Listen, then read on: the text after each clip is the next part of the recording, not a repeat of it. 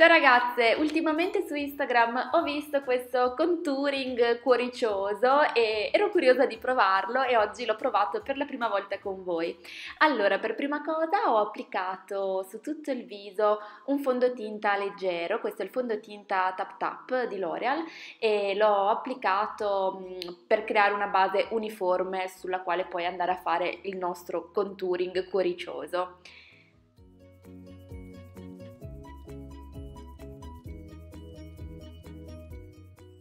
Poi correttore in crema chiaro, questo è della palette estetica e vado a metterlo come sempre diciamo nel contouring normale sotto gli occhi un po' a triangolo.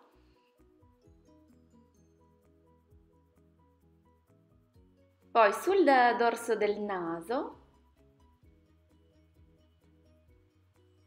e poi vado a fare un cuore diciamo al centro della fronte. Ho usato un pennellino piccolino per fare la, insomma, il cuore perché sennò non si riusciva tanto bene. Poi ho riempito il cuore anche all'interno. Poi cuoricino anche sopra l'arco di Cupido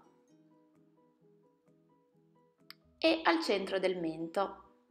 Qua era un po' difficile farlo preciso, comunque ci ho provato. Poi matitone contouring di Kiko, vado a metterlo sotto lo zigomo, dall'orecchio fino a metà occhio e anche ai lati del naso dove abbiamo illuminato. Questo è un trucchetto per sfinare il naso.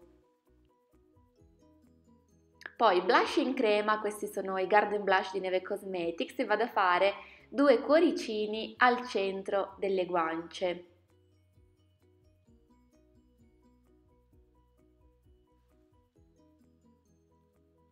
E li riempio anche all'interno.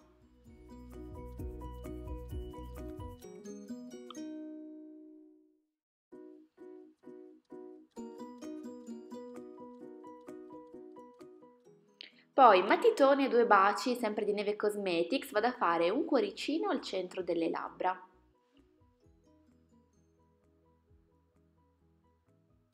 Che contouring romantico questo, tutto cuoricioni. Poi eh, Beauty Blender eh, della Puro Bio, questa, vado a sfumare prima tutti i chiari.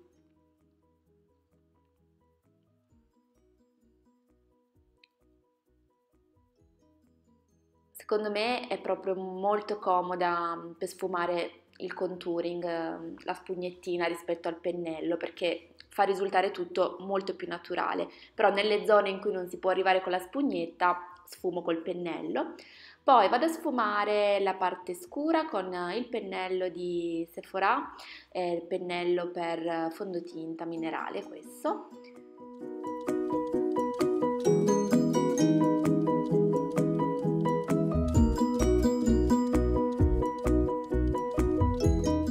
Poi vado a sfumare anche i cuoricini al centro delle guance, sempre con la spugnettina è molto importante eh, quando si fa il contouring, anche quello diciamo classico, andare a sfumare bene, però senza mischiare tutto, quindi cerchiamo sempre di mantenere bene le zone divise, diciamo, cioè dove abbiamo messo lo scuro deve rimanere scuro, dove abbiamo messo il chiaro chiaro, però le zone intermedie di transizione vanno bene sfumate in modo che non ci siano stacchi di colore. Deve essere una sfumatura molto naturale, però non tutto mischiato. ecco, non so se sono riuscita a spiegarmi bene.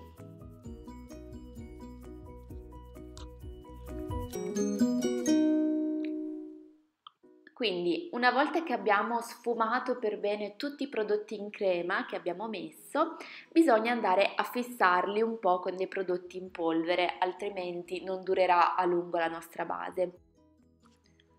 Quindi per prima cosa vado a fissare i chiari con eh, la nuova cipria di Neve Cosmetics Velvet Matte, che è una cipria super super leggera che non appesantisce l'incarnato, non dà l'effetto diciamo artificiale, eh, però proprio mm, eh, fissa bene il make up e fa durare la base più a lungo.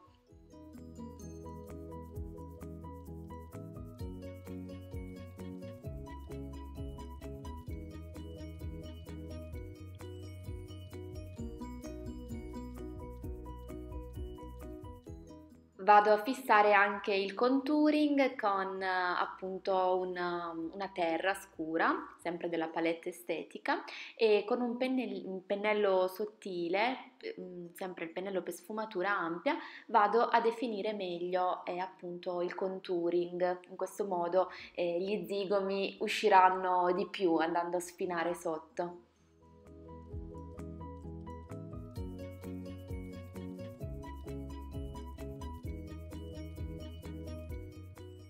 Vado un pochino a sistemare le varie sfumature con il pennello, quello un po' più grande. E ecco, la base viso è completata, devo dire che ero un po' scettica all'inizio perché sembrava una cosa un po' strana, però alla fine è venuta una base viso super luminosa, molto molto primaverile che a me piace. Fatemi sapere se piace anche a voi, se è così pollice in su e iscrivetevi al mio canale per non perdere i prossimi video. Vi mando un bacione, ciao!